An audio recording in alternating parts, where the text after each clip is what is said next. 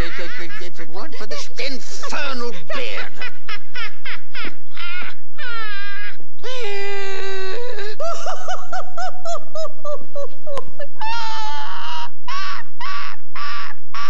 I never, never in my.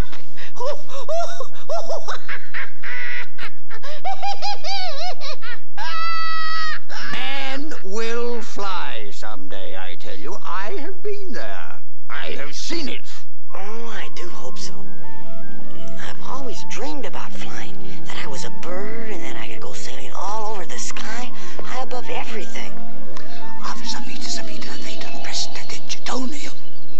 Favorite dream.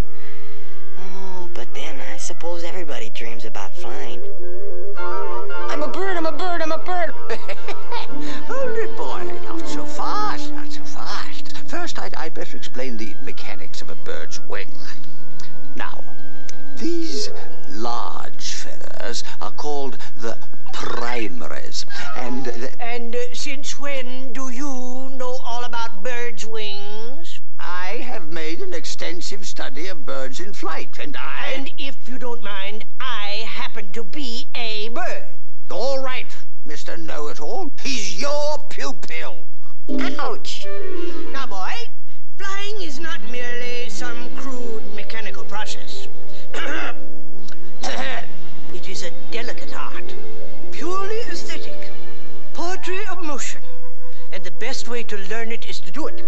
Now, since we're pretty far up, we'll start with a glide.